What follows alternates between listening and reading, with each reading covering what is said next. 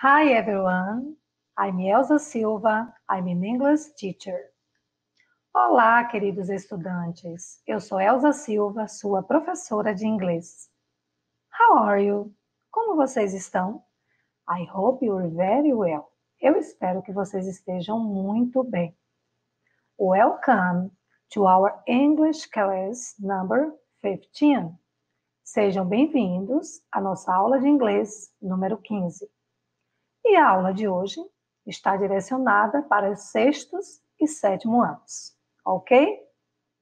Eu sou parda, tenho cabelos crespos de tamanho médio, minha estatura também é média, meus olhos também são castanhos. Hoje estou vestindo uma blusa de cor marrom, calças listradas, brincos dourados, uso óculos vermelho, né? A haste do óculos é vermelha e atrás de mim vocês podem visualizar um painel com logomarcas da Secretaria de Educação e da nossa prefeitura de nossa cidade. Ok? Vamos então agora descobrir qual é a novidade da nossa aula de hoje. Just a moment, please. Só um minutinho, por favor. Vamos falar sobre Family Diversity, diversidade familiar um tema que nos é muito caro e está muito relacionado à nossa realidade, não é mesmo? Para começar o debate de hoje, primeiro, vamos nos perguntar: What are you learning today? What are we going to learn today? O que é que nós vamos aprender hoje? Nós vamos aprender a indicar posições com noções de perto e longe, utilizando os pronomes demonstrativos do inglês, this, these, that and those, e também construir frases, diálogos e orações na língua inglesa, observando diferentes graus de complexidade. Ok? So, é claro que eu não posso deixar de falar da organização do nosso caderno de inglês. Escreva o cabeçalho, colocando o nome da sua escola, school, student, o seu nome, grade, a série que você estuda, date, a data de nossa aula de hoje, teacher, o nome de seu professor ou sua professora da escola onde você estuda. Abaixo, especifique o theme, que é o tema, family, diversity, diversidade familiar.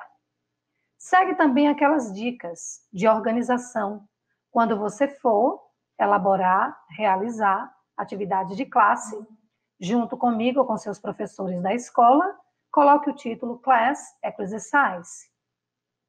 Se a atividade for para casa, homework. E se surgirem aquelas dúvidas durante a aula, que é muito natural do processo de aprender, escreva no campo doubts. Doubts significa dúvidas. Ok, students? Let's go! Para começar, anote aí no seu caderno essas perguntinhas que irão direcionar a nossa aula. How do you make a presentation about one's family? How do you make a presentation about one's family? Como você apresentaria, né, faria a apresentação da família de alguém ou de sua própria família? Você sabe fazer isto em inglês? What situation do you use demonstrative pronouns in? What situation do you use demonstrative pronouns in? Em quais situações nós podemos utilizar os pronomes demonstrativos? Do you know? Você sabe? Escreva em seu caderno a sua opinião com base em seus conhecimentos. Vamos primeiro assistir a esse vídeo e observem a organização familiar dos personagens que aparecem nele. Ok? Let's go! Father finger, father finger, where are you? Here I am, here I am, how do you do? Mommy finger, mommy finger, where are you? Here I am, here I am, how do you do? Brother finger, brother finger, via how do you do? Sister finger, sister finger, where are you? Here I am, here I am, how do you do? Baby finger, baby finger, where are you? Here I am, here I am, how do you do? Father finger, father finger, where are you? Here I am, here I am, how do you do? Mommy finger, mommy finger, where are you? Here I am, here I am, how do you do? Brother finger, brother finger, where are you? Here I am, here I am, how do you do? Sister finger, sister finger, where are you? Here I am, here I am, how do you do? Baby finger, baby finger, where are you? Here I am, here I am, how do you do?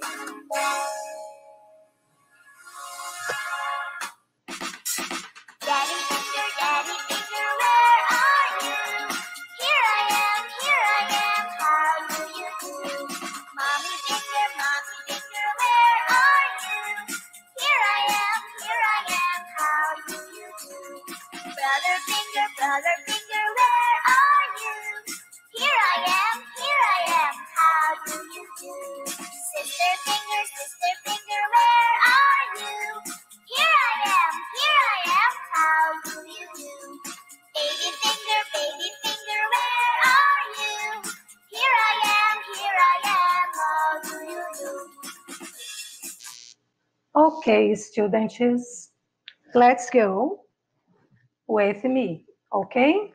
Vamos ler juntos comigo a letra dessa canção. Mickey Mouse Family, a família do Mickey Mouse. Vamos junto comigo? Daddy Finger, Daddy Finger, where are you? Here I am, here I am, how do you do? Mommy Finger, Mommy Finger, where are you? Here I am, here I am, how do you do? Sister Finger, Sister Finger, where are you? Here I am, here I am, how do you do? Brother Finger, Brother Finger, where are you? Here I am, here I am, how do you do? Baby Finger, Baby Finger, where are you? Here I am, here I am, how do you do? Então essa canção, ela vai nos ajudar a memorizar palavras relacionadas ao vocabulário familiar. Temos também uma parte do nosso corpo, que é finger, dedo, e as expressões here I am, eu estou aqui, e os questionamentos where are you, onde você está, how do you do, como você está. Inclusive, um, uma expressão muito comum para perguntar como a pessoa está é o how are you, mas nós também podemos utilizar a expressão how do you do? Ok, students?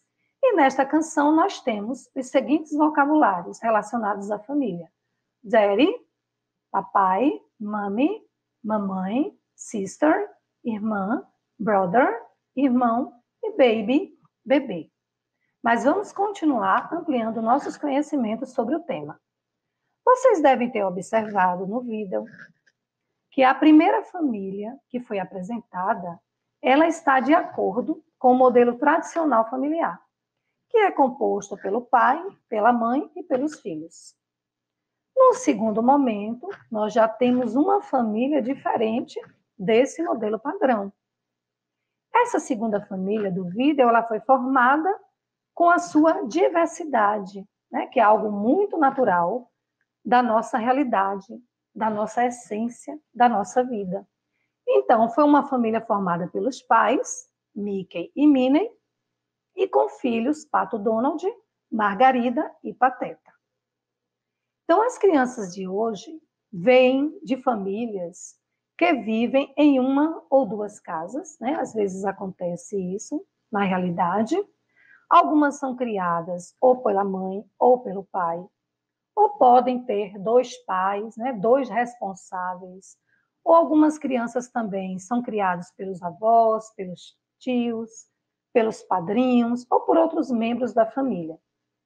Outros têm pais, cuidadores de diferentes origem, origens étnicas e de diferentes opções sexuais. E algumas crianças também são adotadas ou vivem em famílias mescladas. Então, devemos né, levar em consideração essa realidade no que diz respeito à composição familiar. Okay? So, kinds of family. Each family has their particularities, culture, difference, and upright children composition division family. Então, cada família tem as suas particularidades. A cultura, as diferenças na criação dos filhos, a composição e a divisão familiar. Ok? Trago para vocês aqui, para nós ampliarmos o nosso vocabulário, no que diz respeito ao tema da aula de hoje. Mas é importante destacar que nós não estamos aqui fechando, fechando os tipos e modelos familiares, ok? São apenas algumas opções. Por exemplo, no primeiro caso, immediate family, seria uma tradução parecida com a nossa língua, uma família imediata, né? Mas nesse caso aí é a família que está dentro dos moldes tradicional, que é a família composta por father, mother and siblings, pai, mãe e irmãos. A extended family, né, traduzindo uma família estendida, uma família ampla, nós já levamos em consideração fathers and mothers family, os familiares por parte de mãe e por parte de pai.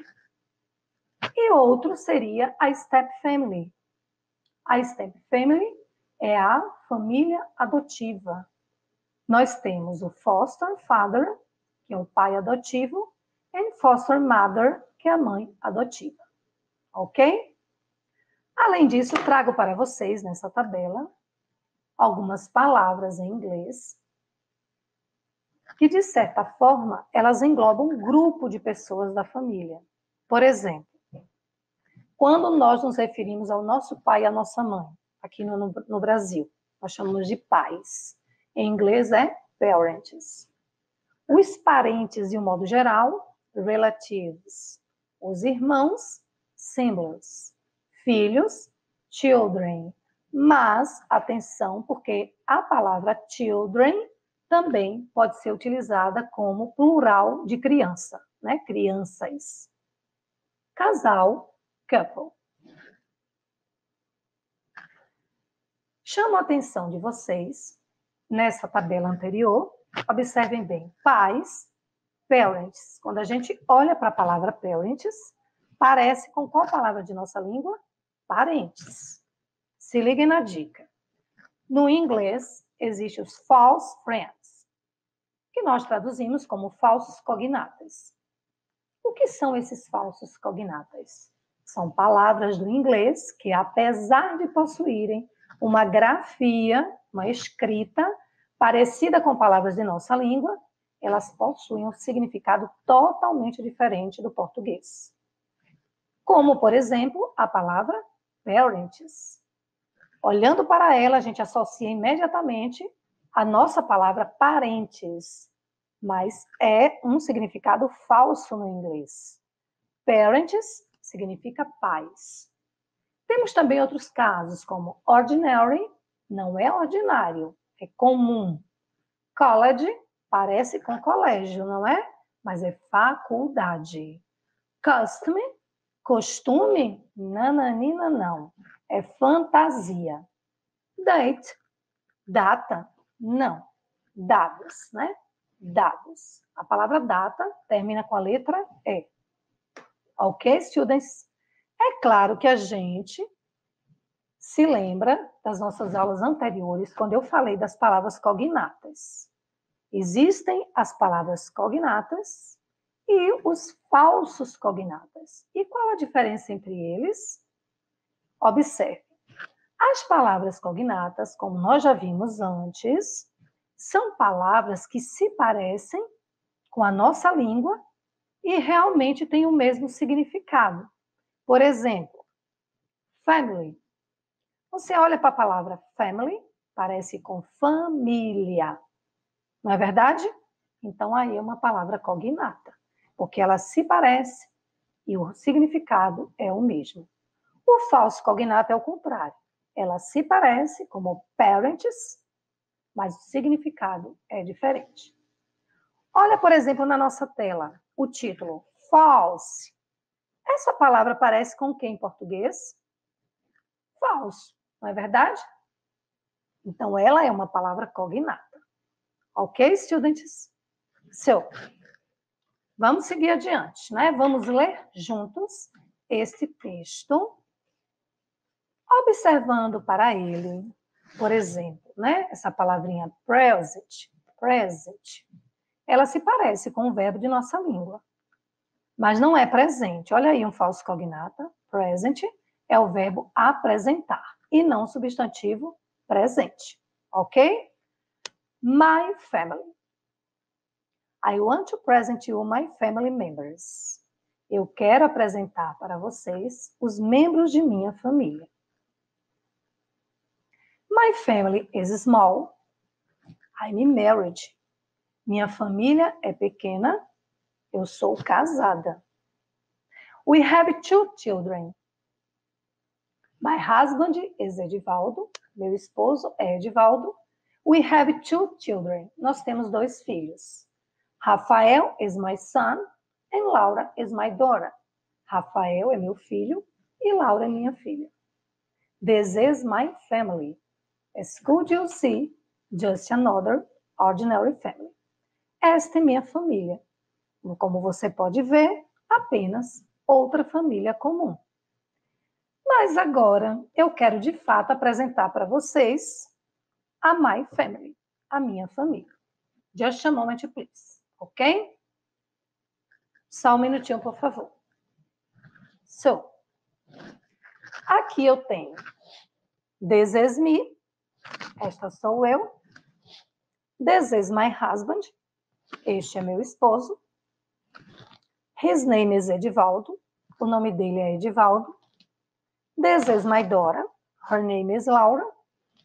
Esta é minha filha. O nome dela é Laura. And this is my son. His name is Rafael. E este é meu filho. O nome dele é Rafael. So, this is my small family. Esta é minha família pequena. An ordinary family. Uma família considerada, né, comum dentro do modelo tradicional ok, students? Mas nem todas as famílias seguem este padrão. Nós temos famílias das mais diversas composições e divisões. Don't forget, não se esqueçam, ok? Let's go. O que é que nós aprendemos em termos de gramática da língua inglesa nesta apresentação que eu fiz para vocês e também no texto que nós acabamos de ler, os demonstrative pronouns. Porém, antes da minha explicação, vamos assistir a um pequeno vídeo para que a gente possa também praticar o ouvir e repetir o inglês, ok? Just a moment, please. Com certeza você já confundiu essas palavras anteriormente, não é verdade? Pois vamos acabar com isso agora. Vou acabar com essa confusão. E tenho dito.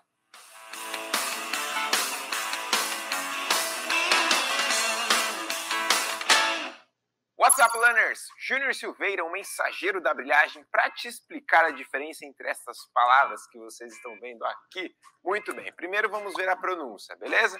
Então vamos lá. Olha só, essa aqui você vai pronunciar this. Repeat, this com a língua entre os dentes, né? Vozeado, TH vozeado. Lembra um vídeo que eu já fiz sobre isso? Olha lá. This. A próxima. These. These. Muito bem, mais prolongado o som, né? These. A próxima. That. That. Muito bem, não precisa gritar, né? Fala mais, mais baixo. E a última é those. Those. Very good. Qual é a diferença entre essas palavras? Bom, a primeira delas é this. This significa isto, certo? Quando um objeto, alguma coisa está próximo a você.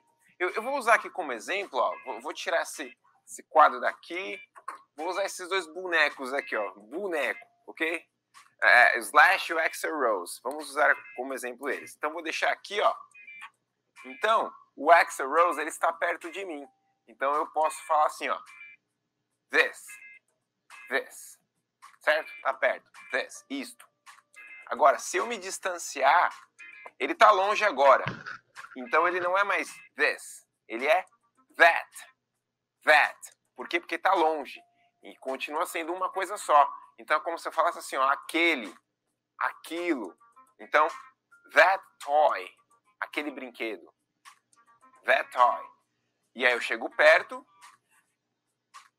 This toy. This toy. Então, este brinquedo, este boneco, ok? Então, aí de cara você já percebeu né, a diferença entre this e that. Ambos eu uso para singular, só que o this é quando está perto e o that quando está longe. Ok, agora vamos para o these e o those. Agora eu tenho o, o Rose e o Slash aqui. São dois bonecos agora. Two toys. Então vou colocá-los aqui pertinho um do outro. Fica aqui muito bem. E perto de mim, certo? Agora eles estão perto e vou falar assim, ó. These. These toys. These toys. Estes brinquedos, estes bonecos.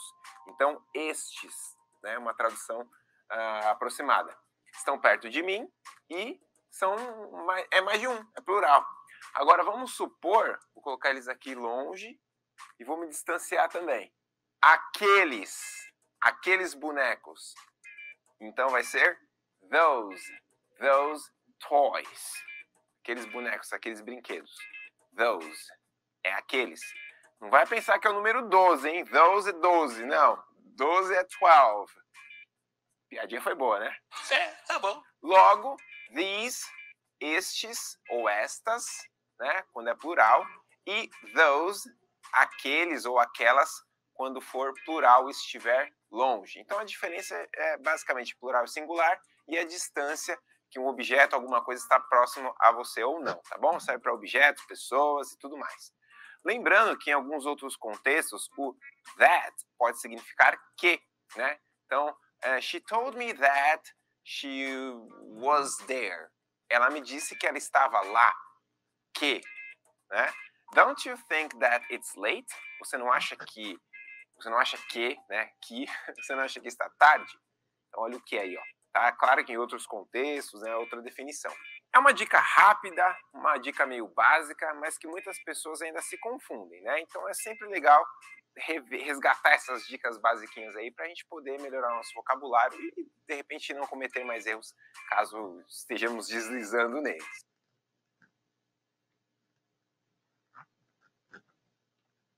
Ok, students. Então, vamos retomar o assunto que foi apresentado no vídeo, Demonstrative Pronouns, para ver se nós entendemos o uso dessas palavrinhas no inglês, ok? Como já foi dito, o que nós precisamos prestar atenção é qual o demonstrativo do singular e do plural e a posição em que o objeto, ou aquilo ou aquele que a gente se refere, está, se perto ou se longe.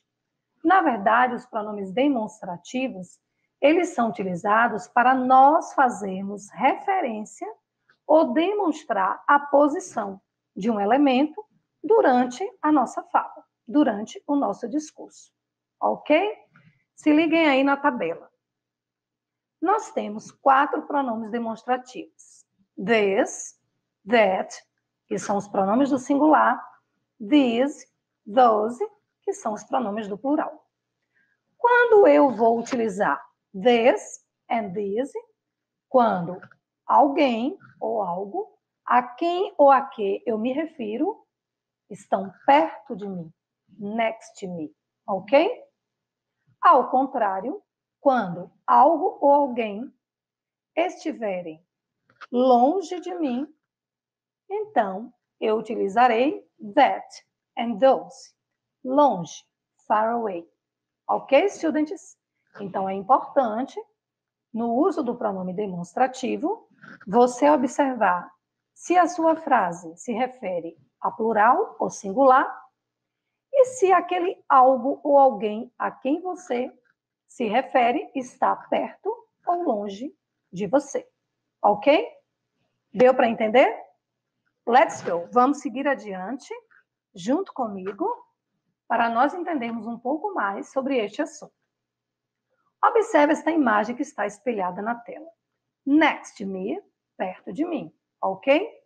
Vejam que eu coloquei a seta, elas estão próximas às imagens, justamente para destacar para vocês que eu devo utilizar os pronomes these and these quando eu me refiro a alguém ou algo que está perto de mim. Vejam os exemplos. This is my family. So, this is my family. Esta é minha família. Eu uso this porque minha frase está no singular e a família está perto de mim. These are my children. Estes são meus filhos. Então, these, porque eu estou me referindo a um grupo de pessoas, portanto, a frase fica no plural, e porque esse grupo de pessoas está perto de mim, ok? E na situação contrária, far away, longe. Olha a mudança que ocorre. No lugar do pronome this, eu vou usar that para o singular e para o brother que está longe de mim. That is my brother. Esse é meu irmão. E na situação plural, né, no caso aí eu tenho um grupo de pessoas que são os similes, os irmãos, eu utilizo então those. Those are my similes. Aqueles são ou esses são meus irmãos. Ok? So, hi guys, I am Bruce. I want to introduce my family to you. Peter and Kate are my foster parents. Peter is my foster father, and Katie is my foster mother. I have a brother. His name is Johnny, and I have a little sister. Her name is Andrea. This is my family, and I'm so happy. Então, eu trago para vocês aqui um texto que fala sobre a família de quem? De Bruce. Então, ele apresenta a família. Peter e Kate são os pais adotivos dele. Ele tem um irmão que se chama Johnny, a irmã que é pequenina, que se chama Andrea, e ele é muito feliz com a sua família adotiva, ok? Com base nesse texto, nós iremos agora fazer uma atividade online. Lembram daquelas atividades bem divertidas? Just a moment, please. Só um minutinho, por favor. Ok, let's go. Introducing Bruce's family. Esse quiz é sobre a apresentação da família de Bruce. E nós já sabemos que este comando aqui, start, é para iniciar. Abaixo nós temos uma frase que é um comando da atividade. You have a series of multiple choice questions that the correct answer to proceed. So, nós temos um, um grupo, né, uma série de perguntas de múltipla escolha. E aí, o que é que você deve fazer então? Né? Tap the correct answer to proceed. Então, você deve escolher a resposta correta de acordo com a pergunta e, é claro, de acordo com o texto que nós lemos agora. Não se preocupem, porque essa atividade, né, o link de acesso para esta atividade ficará disponível no canal da Seduc no YouTube abaixo desse vídeo para que você possa acessá-la e fazer várias vezes e ampliar o seu conhecimento, a sua pronúncia em inglês. Let's go? Então vamos clicar aqui em Start.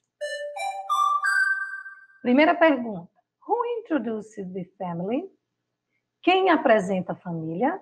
Ao lado você tem o mesmo texto que nós lemos nesse momento, justamente para que você possa pesquisar a resposta. Olhe lá na primeira linha. Hi guys, I am Bruce. I want to introduce my family to you. Então, quem está apresentando a família é o Bruce. Ok. Question number two. Who are Peter and Kate? Nós vamos no texto procurar quem são Peter and Kate. Continuando no texto. Peter and Kate are my foster parents. Peter is my foster father and Kate is my foster mother. Então, Peter e Kate são os pais adotivos de Bruce. Vejamos então qual é a resposta correta. Letter A, letra A. They are Johnny's foster parents. Eles são os pais adotivos de Johnny. They are Andrea's foster parents. Eles são os pais adotivos de Andrea. Or, letter C, they are Bruce's foster parents. Ou eles são os pais adotivos de Bruce. Letter A, B, or C, students. Letter C is correct. Okay? Number three. What kind of family is Bruce's family? Que tipo de família, né? Que modelo familiar se enquadra, se encaixa a família de Bruce? Vamos conferir no texto? I have a brother. His name is Johnny, and I have a little sister. Her name is Andrea. This is my family, and I'm so happy. Não encontrei a resposta, students. Help me, please. Ajudem-me, por favor, porque a resposta está no parágrafo acima, ou melhor, na linha acima. Quando ele diz assim: Peter and Kate are my foster parents. Então, Peter e Kate são meus pais adotivos. Desse modo, a família de Bruce é immediate family, step family or extended family. Qual é a expressão que nós utilizamos para a família adotiva? Será que é a letra B? Vamos ver, vamos conferir? Yes, step family. Let's go. Vamos lá. Question number four. Pergunta número 4. Is Andrea Bruce's little sister? Andrea é a irmã pequenina de Bruce. Did you remember? Vocês se lembram? Vamos conferir no texto? Vamos procurar o nome de Andrea lá no finalzinho. And I have a little sister. E eu tenho uma irmã pequena. Her name is Andrea. O nome dela é Andrea. Então, a nossa resposta será positiva ou negativa. Yes, she is. Yes, he is. No, she isn't. Nós sabemos que a resposta é positiva. Yes. Mas nós temos duas opções de resposta positiva no game. Mas o que é que a gente deve observar? O pronome she ou he, que se refere a Andreia. Andreia é feminino, então o pronome será she, que significa ela em nossa língua. Ok? Mais uma resposta correta. And number five, who is Johnny? Quem é Johnny? Vamos conferir no texto? Localizem Johnny no texto. I have a brother. His name is Johnny. Eu tenho um irmão. O nome dele é Johnny. Who is Johnny, students? Quem é Johnny? Estudantes. His Bruce's father, pai de Bruce. His Bruce's sister, irmã de Bruce. Or he is Bruce's brother. Ou ele é o irmão de Bruce. Conforme o texto, Johnny is Bruce's brother. Então, Johnny é o irmão de Bruce. Vamos conferir? Letter C? Ok. So, finalizamos o nosso jogo e ele então te apresenta o score. Nós conseguimos acertar as cinco questões. No tempo, né? Time, 4 minutos e 27 segundos, e ele te coloca no grupo dos leaderboard, ou seja, no ranking dos melhores, ok? Se você quiser conferir as respostas corretas desse game, basta clicar na opção Show Answers. Então, ele te apresenta aqui o texto novamente, as perguntas e as respostas. Eu recomendo que vocês registrem essa atividade no caderno, ok? Até porque é preciso praticar a escrita no idioma. Então, vocês podem aqui, ó, a barra de rolamento, just a moment, please, olha aqui, e puxar até a questão 5. Back é o comando para retornar, start again, caso você queira começar o game novamente. Ok, students? Não percam a oportunidade de praticar o seu inglês a partir desta atividade.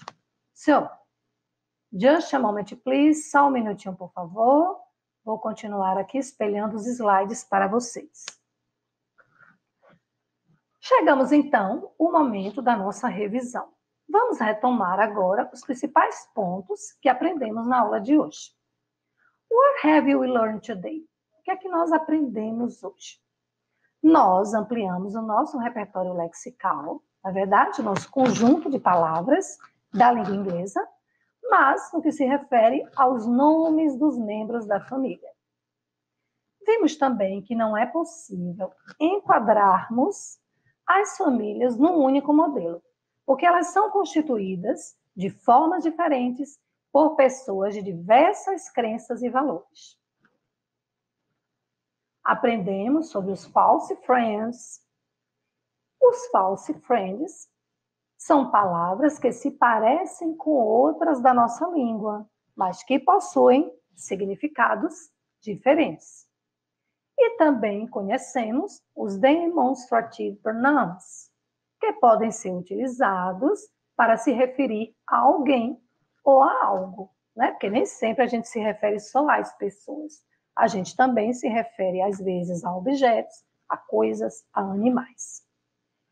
Então, gente, os pronomes demonstrativos, eles variam em número. Então, nós temos o pronome do singular e do plural, não é verdade?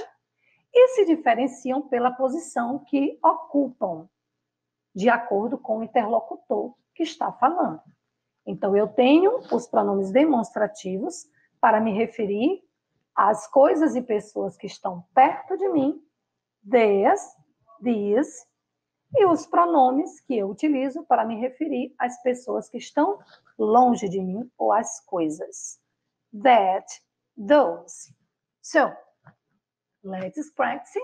Então, vamos agora conhecer o desafio da aula de hoje. E este desafio vocês irão realizar em casa. Que tal apresentarmos os nossos familiares em inglês Utilize o vocabulário e os pronomes demonstrativos que aprendemos na aula de hoje. Ilustre sua atividade com imagens, fotos ou desenhos. For example, that is my sister. She is Chris. Observe que a imagem de Chris está longe de quem está apresentando. Então, o personagem está apresentando a sua irmã. Essa é minha irmã, ela é Cris. É assim que você deve desenvolver a sua atividade. Ok? Deixo aqui mais uma imagem como exemplo, né? Vocês podem colocar os pais de vocês, primos, tios, enfim. Você irá fazer a sua atividade de acordo com a composição e a divisão de sua família. Chegamos então ao final de nossa aula. Nice to see you. Foi muito bom estar com vocês. Bye. See you next class.